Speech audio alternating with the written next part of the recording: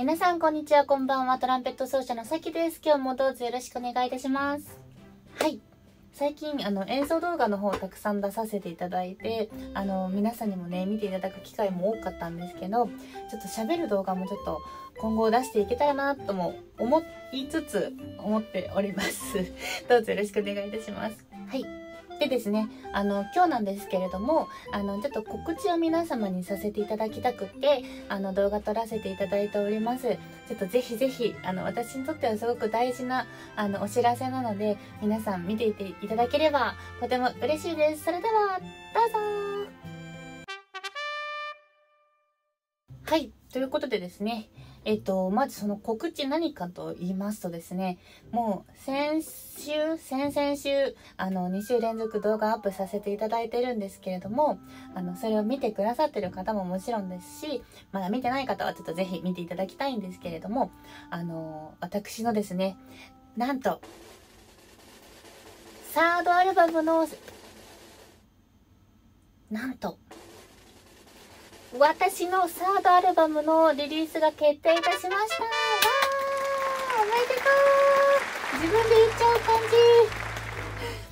じ。とうとう、あの、私ですね、ファーストアルバムを2、3年前に出させていただいて、で、それから、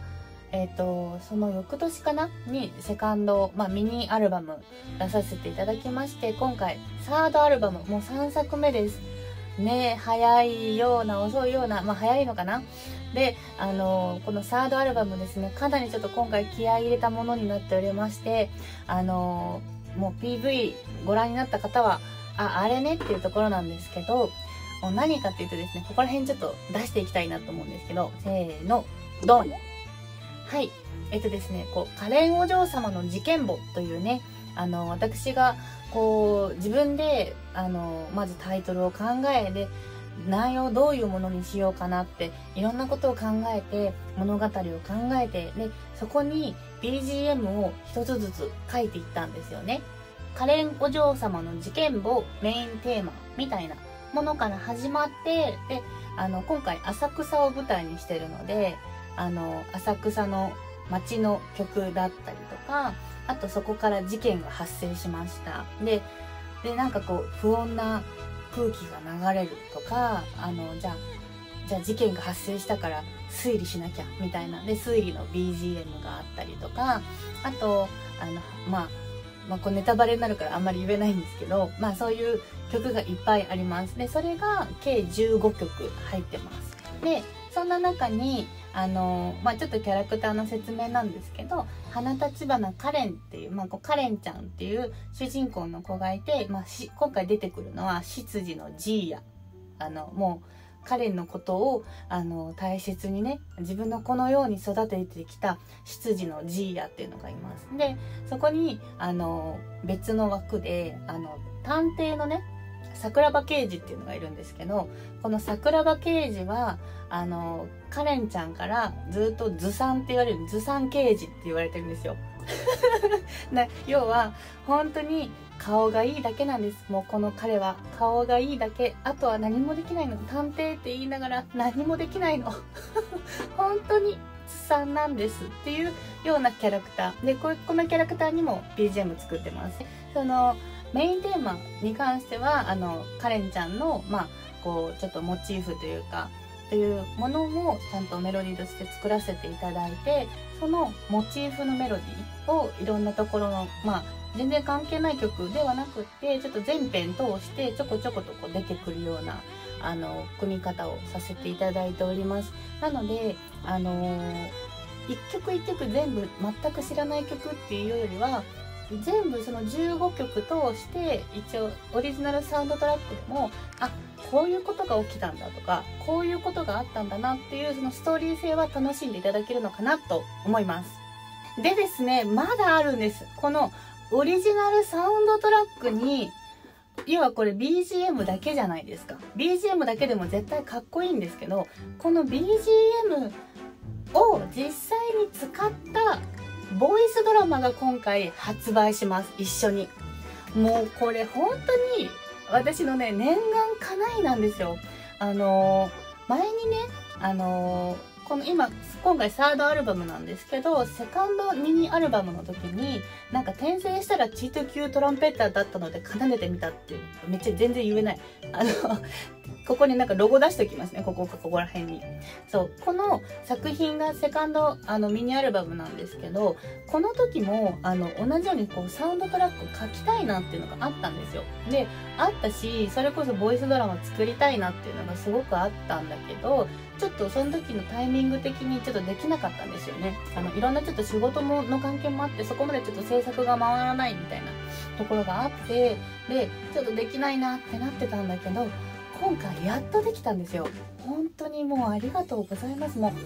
あのねもうめっちゃ好きなの本当に。やっぱ要はボイスドラマって何かっていうとあの要は耳で聞くあのまあ朗読だったりとかその演劇ですね。でその実際そのアニメーションとかはないんだけど例えば耳元であのななんとかはないないんだったとかまあこうこういうあのボイス本当声のドラマが聴けるっていう作品です。でこちらの方もあのさっき言ったみたいにこのオリジナルサウンドトラックの曲を実際に使ってでそれを BGM としてでそこに声優さんが声で乗っけてくださったんですよね物語を。うん、で今回あの花立花カレン役の方にあの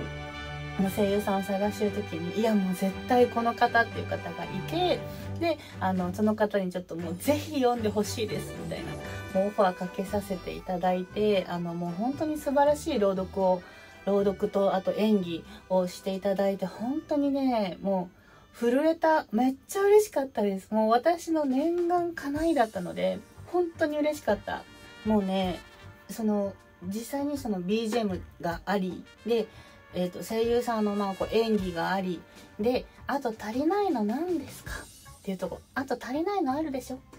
大事なもの？これは次効果音です。ね。その音楽と声でもストーリーってはっきりわかるんだけど効果音がね入るとまた全然違うんですよ。えっと、声 BGM 効果音が合わさった時のもうあ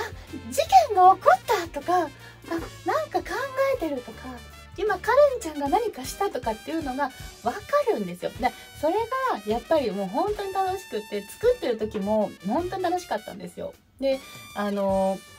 脚本もね自分で書かせていただいてこういう時にはこの BGM 流そうとかあのこういう時こういう効果音入れようとかあとこういう時はこういう喋り方がいいなとか声優さんねでもういろんなこと考えさせていただきながらあの制作させていただきました。でこちらのそのミニボイスドラマと合わせてそのオリジナルサウンドトラックもぜひ楽しんでいただけたら嬉しいなと思ってます。ちなみにそのじゃあミニボイスドラマだけ買ったらええやんって話したんだけど違う違うの。そうじゃないの。このミニボイスドラマはあのの中で使われてない曲がこっちにはいっぱいあるんですよ。そう。だから全15曲10噛 んで全15曲あるんだけどこっちはそんなにいっぱい使え使えないんです使えなかったあの尺的にね使えなかったからねあの、もうどっち聞いてもどっち聞きたくなっちゃうんじゃないかな、みたいな。思ってます。なので、あの、オリジナルサウンドトラックをまず買ってみて、で、それで、あ、へえ、こんな感じなんだ、みたいなのが分かったら、次ちょっとミニボイスドラマ買うとかでもいいですし、あの、なんなら今回、あの、オリジナルサウンドトラックとミニボイスドラマの同時セットもあって、で、この2つ一緒に買うとちょっとお得なんですよ。だいたい500円くらいお得なのかな。で、お得な上に、あの、もうどっちから聞いても楽しい、この場合は。私はおすすめさせていただきます。例えば、あの、私のね、あの、YouTube の動画の視聴者さん、視聴者さんは、あの、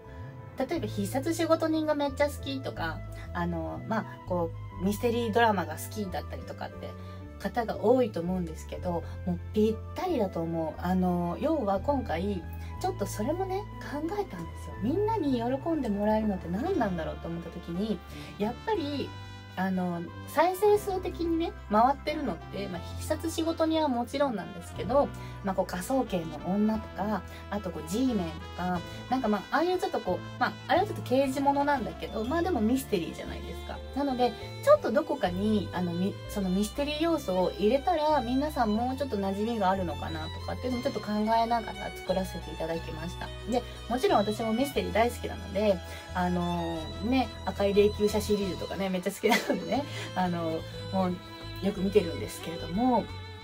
そうあのまあそういうところでちょっとまあこう全く遠い存在ではないのであのぜひ見て見てんじゃないわ。ぜひですねあの聞いていただけたら嬉しいなと思うばかりでございます。あのまずねじゃあどこで買えるんだよって話なんですよこれ。で今回あのえっとねブースっていうあの販売サイトがあるんですけどそのブースに下のね、概要欄の方をちょっとポチって、あの、概要欄開くっていう欄があるんですけど、そこをクリックしていただくと、あの、こう、例えばオリジナルサウンドトラックとか、えー、とだけとかあとそれがまあサインありなのかなしなのかとかってまあいっぱい今リンク見れてるかと思うんですけどもあのその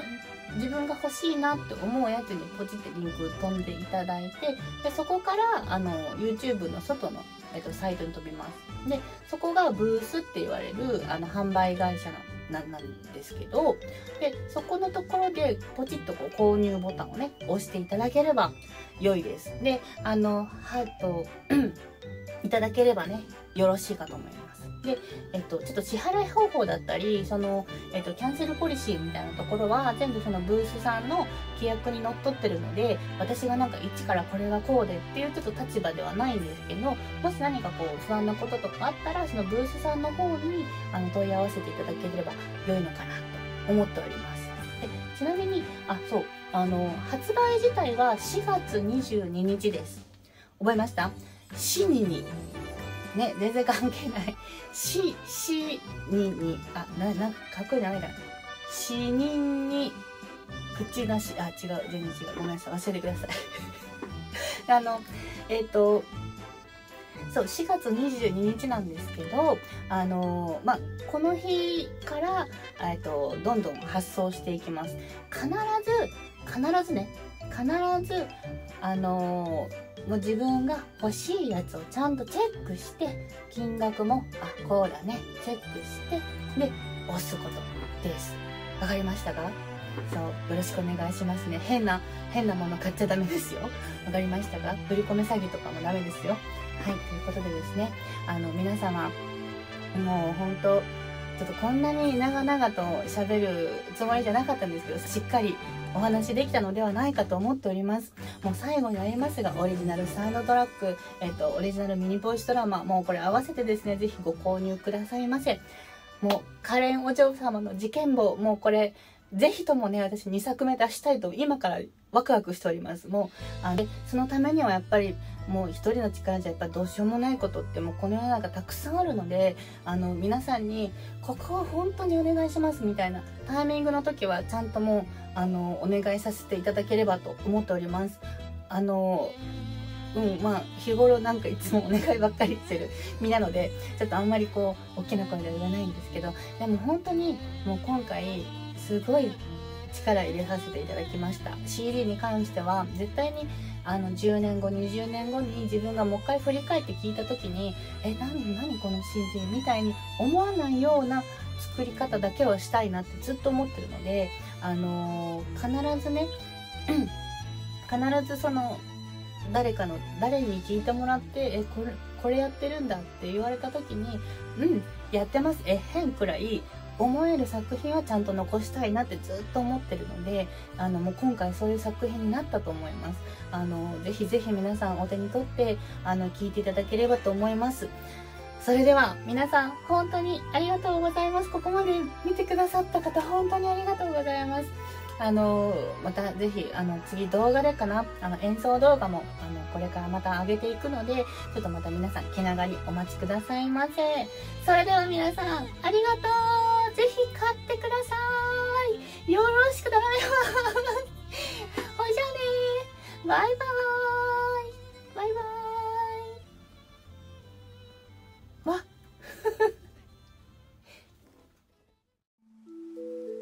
私は昔から一人だった。欲しいものは何でも与えられ私に意見する人間は一人もいなかった両親とは覚えているのについてだから私は探偵という仕事を選んだこれが私の生きる希望だからカレンお嬢様の事件も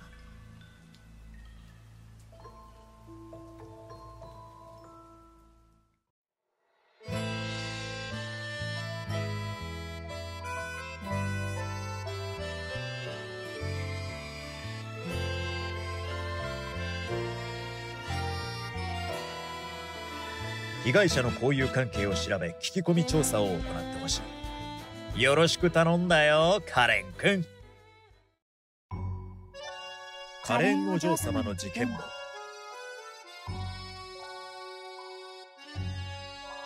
花立花カレンは有名な私立探偵花立花家の令嬢である。ある日彼女のもとに父親の元部下である探偵桜庭から依頼が舞い込んでくる。依頼内容は結婚前の女性が次々と行方不明になったというものだった。カレンはすぐさま調査を始め最後に女性が目撃された場所や周囲の人々に話を聞き始める。しかしその調査の中カレンは自分自身にも謎めいた過去があることを知ることになる。そんな中カレンは被害者の知人である三島と出会い彼女から桜庭が過去に巻き込まれた事件のことを聞かされる。そしてさらに奇妙な事件が次々と起こり始める中カレンは真相に迫っていくのだった。この先必ず私が解決してみせる。カレンお嬢様の事件簿